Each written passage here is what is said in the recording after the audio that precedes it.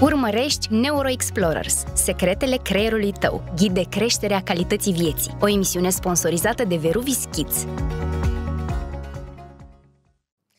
Bun găsit la un nou episod din Neuro Explorer, Secretele creierului tău. Eu sunt Gabriela Maluf, iar alături de mine este Costin Dămășaru, fondator al Centrului Veruvis și Veruvis Kids, psiholog, doctor, uh, un om foarte, foarte bine informat și carismatic, aș spune, pentru că ne explică foarte, foarte bine, dacă vă uitați și la cele, uh, celelalte episoade, o să vedeți uh, cât de înțeles, pe înțeles sunt informațiile oferite de Costin. Bine ai uh, revenit!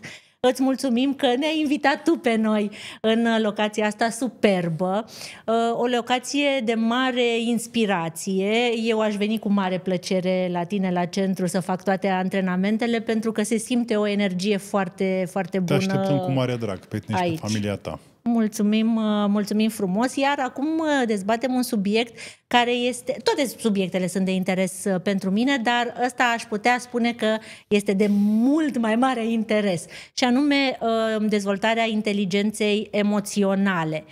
Și de ce spun că este de interes pentru mine? Ambii mei copii um, și-au ales așa domenii în care emoționalul primează poate mai mult decât în alte domenii. Da, o să ne spui tu dacă există așa ceva sau este doar un mit. Uh, atât în zona artistică cât și în zona de performanță sportivă, emoționalul vine cu un mai mare plus decât academicul. Uh, și cumva am remarcat că dacă este um, ceva ce nu merge bine, este atunci când emoționalul nu stă Uh, pe roz și nu este, nu, lucrurile nu merg uh, așa cum, cum trebuie. Iar oamenii, părinții din ziua de astăzi, pare că au înțeles și ei povestea asta și chiar dacă marjează și își doresc ca ai lor copii să aibă și performanță academică, uh, evident, pentru că ne dorim să avem buni profesioniști atunci când avem probleme. Nu cred că își dorește nimeni să meargă la doctor și doctorul să n-aibă o, o um, pregătire academică foarte bună, dar emoționalul este ceva ce poate să ajute un om să crească sau nu? Este adevărat? Este foarte adevărat. Inteligența emoțională, de fapt, bate din punctul de vedere IQ. Okay, avem EQ, inteligența emoțională, și IQ, care, uh, IQ, de fapt, din punctul meu de vedere, să măsoară inteligența, testele respective sunt pur și simplu niște teste care la, ți arată dacă niște copii pot să răspundă la niște întrebări. Atât tot. Inteligența emoțională, în schimb, ne arată modul în care copilul sau adultul, depinde, dar în cazul ăsta copilul, înțelege contextul în care se află, adică unde e el de fapt, și ce anume are de făcut pentru a-și atinge obiectivele folosindu-se de informațiile care vin din context. În mod etic, cu siguranță, tot ce trebuie. Inteligența emoțională reprezintă, de fapt, capacitatea copilului de a înțelege emoțiile ca pe niște prieteni, ca pe niște consilieri, ca pe niște eroi care vin în ajutorul lui. Există acum un film uh, la cinema foarte, foarte tare, vă recomand să-l vedeți, despre emoții, foarte tare, și explică foarte frumos ce înseamnă emoțiile și emoțiile sunt cu noi tot timpul, în măsură ce înaintăm în vârstă, vin și emoții mai diferite, mai complexe, însă o combinație între cele primare. Inteligența emoțională este, din punctul meu de vedere, cel mai important indicator pentru reușita copilului în viață. Pentru că, și aici să-mi fie cu iertare dacă se supără cineva, dar din punct de vedere adevărat, în viață nu câștigă cei care știu mai multe, ci în viață câștigă cei care știu cum anume să transmită că știu mai multe.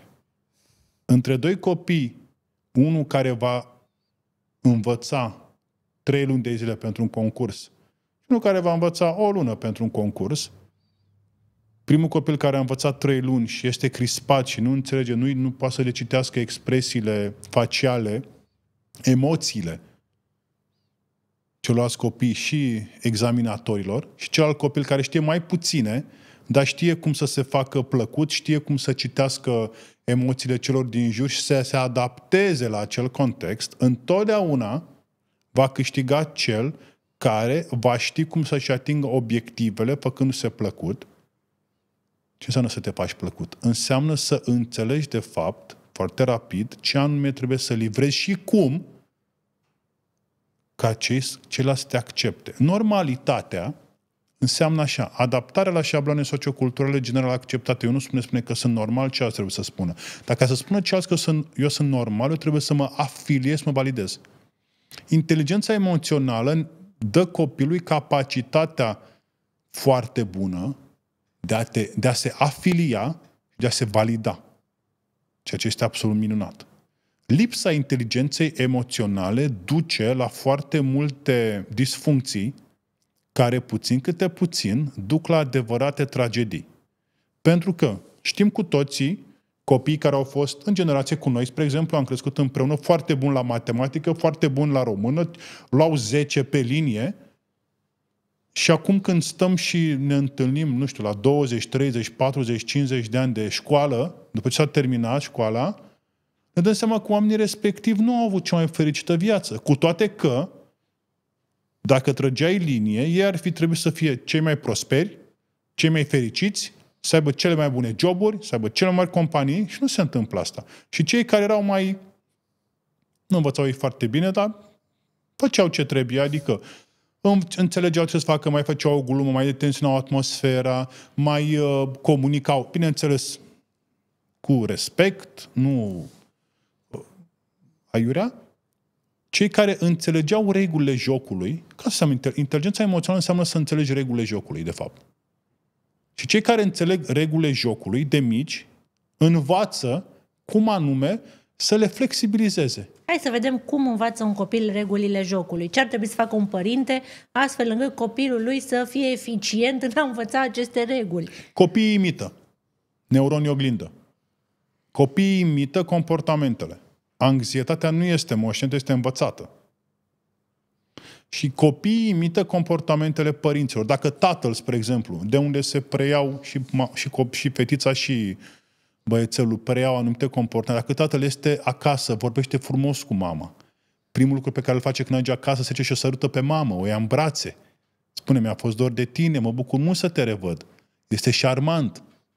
Uh, mai spune o glumă de tensionat, bineînțeles, riguros, ca tată, dar într-un mod seducător.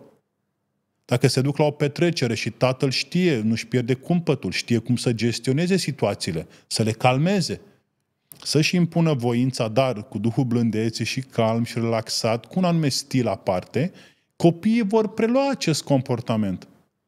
Vor ști că în orice situație este important să rămâi calm, nu să urli, să zbieri, să dai cu picioarele. Nu. Aia fac alții. Noi nu. Noi suntem calmi, relaxați, înțelegem, colectăm, procesăm, utilizăm informația în context și ne atingem obiectivele. Și lăsăm pe alții să se ducă în zona asta de brutalitate a acțiunilor. Un părinte și mama și tata, mama în schimb, oferă alte, alte avantaje. Tatăl, din punctul meu de vedere, oferă acțiunile cu exteriorul. Cum să ne comportăm cu exteriorul? Șarmant, seducător, relaxat, cum să te îmbraci, cum să comunici, cum să uh, ți atingi obiectivele. Pe când mama ne introduce în lumea interioară. Cum să comunici cu tine. Cum să ai grijă de tine. De ce? Că ai fost în burtaie 9 luni. E o legătură acolo care nu se rupe niciodată. Tatăl imaginează că e Ministerul de Externe, mama e Ministerul de Interne. În Ministerul de Interne are grijă de ce la interior, Ministerul de Externe ce la exterior. Și aici, simbioza dintre mamă și tată în a transmite copilului, copiilor, aceste modalități de a gestiona exteriorul și interiorul, îi oferă copilului secretul fericirii, de fapt. Aici e. Este o responsabilitate foarte mare, însă, și aici, de fapt, problema, niciodată copilul nu trebuie să perceapă că părintele se chinuie să-i educe. Niciodată. Trebuie să fie, sau e important, când trebuie nimic în viață, e important să fie lin, un proces natural, e, e greu, dar acolo ăla e dezideratul, proces calm, fluid în care copiii să aibă niște modele care să le dea, de fapt, instrumentele necesare să reușească în viață și să fie fericiți. Costin, îți mulțumesc uh, tare, tare mult. Uh, aveam întrebări specifice de cum facem să gestioneze copiii furia, frustrarea, că na, acolo vine cu inteligența emoțională, dar ne-a răspuns uh, Costin foarte clar. E vorba despre ceea ce modelăm noi părinții și atunci când noi simțim aceste emoții, furie, frustrare, tristețe, ce facem noi când uh, vin aceste emoții uh, peste noi? Același lucru vor face și copiii noștri și uite așa uh, putem să avem copii dezvoltați cu o inteligență emoțională dezvoltată sau mai puțin dezvoltată. Mi-a plăcut tare mult cum ai pus tu problema și diferențele până la urmă dintre o mamă și un tată, Ministerul de Externe și Ministerul de Interne. O să spun și eu soțului meu diseară, ai grijă cu externele, trebuie să mai, să mai lucrezi un pic. Îți mulțumesc tare mult mult, dar găsiți și voi foarte multe alte informații uh, pe veruviskids.ro. Uh, eu zic să le căutați, o să le găsiți și o să fiți tare mulțumiți, dar uh, până atunci rămâneți cu bine și nu uitați de episodul următor. Să ne revedem cu bine! Ai urmărit Neuroexplorers, secretele creierului tău, o emisiune sponsorizată de Veruvis Kids.